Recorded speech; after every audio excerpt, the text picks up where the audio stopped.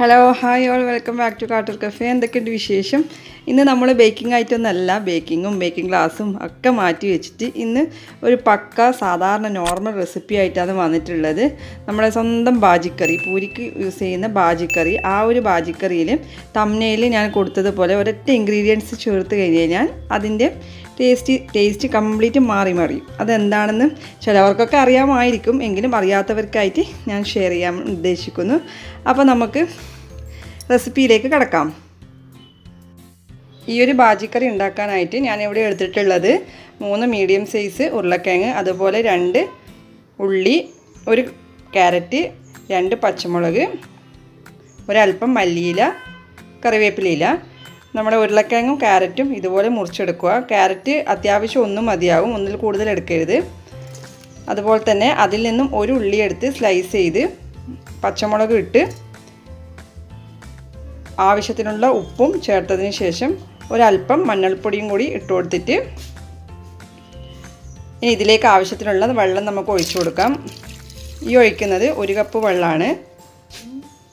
ഈ ഒരു കപ്പിലാണ് വെള്ളം എടുത്തിട്ടുള്ളത്. ഇനി ഇതേ കപ്പിൽ ഒരു പ്രാവശ്യം കൂടി വെള്ളം എടുക്കണം. ഇതുപോലെ നമ്മുടെ ഉരുളക്കിഴങ്ങ് വെള്ളത്തിൽ മുങ്ങിക്കിടക്കുന്ന രീതിയിൽ നമ്മൾ വെള്ളം ഒഴിച്ചു കൊടുക്കുക. അപ്പോൾ ഞാൻ ടോട്ടൽ രണ്ട് കപ്പ് വെള്ളം ഒഴിച്ചു കൊടുത്തിട്ടുണ്ട്. ഇനി കുക്കർ അടച്ചു വെച്ചിട്ട് നമുക്കൊരു നാല് വിസിൽ വരെ വിസിലാകുന്നത് വരെ വേവിച്ചെടുക്കാം. ഉരുളക്കിഴങ്ങ് വളരെ ചെറിയ രീതിയിലാണ് നമ്മൾ മുറിക്കുന്നതെങ്കിൽ നാല് വിസിലൊന്നും ആവശ്യം ഉണ്ടാവില്ല. അത് നിങ്ങൾ പ്രത്യേകം ശ്രദ്ധിക്കുക. ഈ ഒരു അളവിലാണെങ്കിൽ ആ ഒരു വിസിൽ കറക്റ്റാണ് അപ്പോൾ അതിനിടയിൽ തന്നെ നല്ല ഫ്രഷ് കറിവേപ്പില നമ്മുടെ വീട്ടിൽ വളർത്തുന്ന കറിവേപ്പിലയാണ്. അതിൽ നിന്ന് കറിവേപ്പിലയും പറിച്ച് കാച്ചാനായിട്ട് റെഡിയാക്കി വെക്കുന്നുണ്ട്.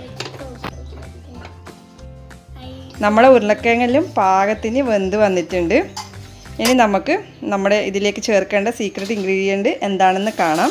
ഒരു അരക്കപ്പ് വെള്ളത്തിലേക്ക് വൺ ടേബിൾ സ്പൂൺ പാൽപ്പൊടിയാണ് ഞാൻ ചേർക്കുന്നത് മിൽക്ക് പൗഡർ ഇത് നാട്ടിലതാണ് നമ്മൾ യൂസ് ചെയ്യുന്നതെങ്കിൽ ഒരു മുക്കാൽ ടേബിൾ സ്പൂൺ അല്ലെങ്കിൽ ഒരു അര ടേബിൾ സ്പൂൺ മതിയാവും. അത് നിങ്ങൾ യൂസ് ചെയ്ത് നോക്കുമ്പോൾ നിങ്ങൾക്ക് മനസ്സിലാവും. എന്താണെന്ന് വെച്ച് കഴിഞ്ഞാൽ കാരണം ഗൾഫിലെ പാൽപ്പൊടിക്ക് അത്ര മധുരം ഉണ്ടാവില്ല പക്ഷെ നാട്ടിൽ നമ്മൾ അമൂലിലൊക്കെ പാൽപ്പൊടി വാങ്ങുകയാണെങ്കിൽ കുറച്ചും കൂടി മധുര മധുരമുള്ളതാണ്. അപ്പോൾ നമ്മുടെ കറി മധുരമുള്ള ഉള്ളതാവാൻ സാധ്യത ഉള്ളത് കൊണ്ടാണ് ഞാൻ അങ്ങനെ പറഞ്ഞത്. ഓക്കെ? അത് ഈ ഒരു റെസിപ്പി എന്റെ കുറേ ഫ്രണ്ട്സൊക്കെ ട്രൈ ചെയ്തിട്ട് നല്ല ഫീഡ്ബാക്ക് കിട്ടിയ ഒരു റെസിപ്പിയാണ്. അപ്പോൾ ഇനി ഇതിലേക്ക് ഒരു ഫ്രൈ പാൻ വെച്ചിട്ട് വെളിച്ചെണ്ണയാണ് ഒഴിച്ചിട്ടുള്ളത്. ആവശ്യത്തിനുള്ള കടുകിട്ട് കടുക് പൊട്ടി വരുമ്പോൾ അതിലേക്ക് ഒരു വൺ ടീസ്പൂണ് ജീരകം ചെറിയ ജീരകം ചേർക്കുക. ശേഷം ആ ഒരു ഉള്ളിയില്ലേ ബാക്കിയുള്ള ആ ഒരു ഉള്ളി മുറിച്ചിട്ട് ഇതുപോലെ ഒന്ന് വഴറ്റി കൊടുക്കുക. ഒരുപാട് വയലണമെന്നില്ല ജസ്റ്റ് ഒന്ന് വയനാൽ മതിയാവും. ഇനി അതിലേക്ക് കറിവേപ്പിലയും ചേർത്ത് നമുക്ക് ഈ ഒരു കൂട്ട് നമ്മുടെ ബാജിക്കറിയിലേക്ക് ഒഴിച്ച് താളിച്ചെടുക്കാം. പിന്നെ പാൽപ്പൊടി ഒഴിച്ച് കഴിഞ്ഞാൽ നമ്മൾ ഓൾറെഡി ആ ഒരു ഉരുളക്കിഴങ്ങും ക്യാരറ്റും ഒക്കെ ഒരു തവി കൊണ്ട് കുറച്ച് ഒരു അല്പഭാഗം ഉടച്ച് നന്നായി ഒന്ന് മിക്സാക്കി എടുക്കണം കേട്ടോ. അതിന് ശേഷമാണ് നമ്മൾ ഈ ഉള്ളിയും കടുകും കറിവേപ്പിലൊക്കെ ഇട്ട് താളിച്ചെടുക്കേണ്ടത്. എല്ലാം കൂടി ഒന്ന് ഒന്നുകൂടി മിക്സാക്കി കഴിഞ്ഞ് കഴിഞ്ഞാൽ നമ്മുടെ ബാജിക്കറി ഇവിടെ റെഡിയായി റെഡിയായി കഴിഞ്ഞ് കുട്ടികൾക്ക് ടിഫിനിൽ കൊടുക്കാനും അതുപോലെ തന്നെ വളരെ ഈസി ആയിട്ട് പെട്ടെന്ന് ചെയ്തെടുക്കാൻ പറ്റുന്ന ഒരു അടിപൊളി ടേസ്റ്റി ആയിട്ടുള്ളൊരു ബാജിക്കറിയാണിത്. ഈ ഒരു കറിയെക്കുറിച്ച് പറയുകയാണെങ്കിൽ എന്റെ രണ്ടാമത്തെ ബ്രദർ അൻസർ എഞ്ചിനീയറിങ്ങിന് ചെന്നൈയിലാണ് പഠിച്ചിട്ടുണ്ടായത്. ആ ഒരു സമയത്ത് നമ്മുടെ വീട്ടിലേക്ക് ഇവന്റെ ഫ്രണ്ട്സൊക്കെ താമസിക്കാൻ വരികയായിരുന്നു. അപ്പോൾ നമ്മൾ ഉണ്ടാക്കി കൊടുക്കാറുള്ള മെയിൻ റെസിപ്പിയാണിത് പൂരി ബാജി. അപ്പോൾ ആ കുട്ടികൾക്കൊക്കെ നന്നായിട്ട് ഇഷ്ടപ്പെടുന്ന ഒരു റെസിപ്പിയും കൂടിയാണിത്. നല്ല അഭിപ്രായം നേടിയ റെസിപ്പി കൂടി ആയതുകൊണ്ടാണ് ഞാൻ നിങ്ങളുമായിട്ട് ഷെയർ ചെയ്യാമെന്ന് വിചാരിച്ചിട്ടുള്ളത്. അതുകൊണ്ട് ഇത് ഇതുവരെ ഉണ്ടാക്കി നോക്കാത്ത ആരെങ്കിലും ഉണ്ടെങ്കിൽ ഒരു പ്രാവശ്യം ട്രൈ ചെയ്തിട്ട് എന്നെ ഫീഡ്ബാക്ക് അറിയിക്കാൻ മറക്കരുത്. എന്തായാലും നിങ്ങൾ കമന്റ് ബോക്സിൽ അറിയിക്കണം. ഓക്കെ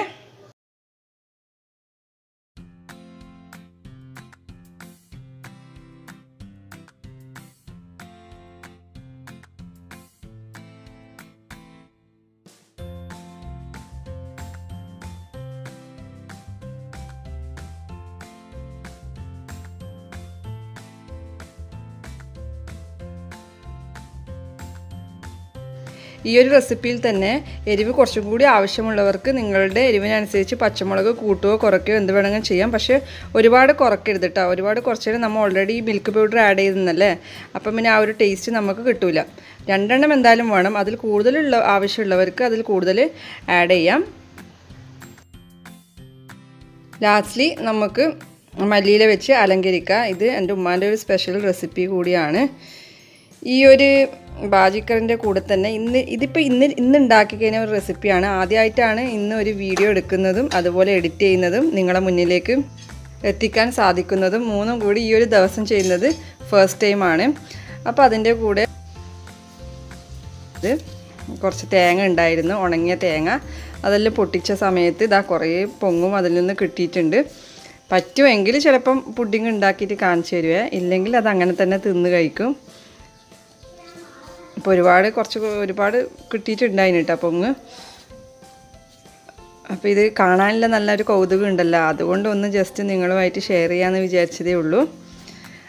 അപ്പോൾ ഇൻഷാല്ല ഇനി ഞാൻ എന്നും പറയുന്നത് പോലെ എന്റെ ചാനൽ ഇതുവരെ സബ്സ്ക്രൈബ് ചെയ്യാതെ ആരെങ്കിലും കാണുന്നവരുണ്ടെങ്കിൽ ഒന്ന് സബ്സ്ക്രൈബ് ചെയ്യുക. അതുപോലെ തന്നെ ബെല്ലൈക്കൺ ഒന്ന് ക്ലിക്ക് ചെയ്യുക.